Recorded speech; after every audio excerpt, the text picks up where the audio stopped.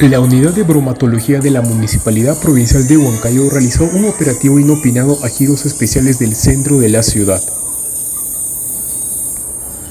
El local Quimbara fue sancionado con el 100% de la UIT al encontrar condiciones insalubres en la preparación de las bebidas que ofrecen al público, en series en mal estado y malas prácticas de manipulación.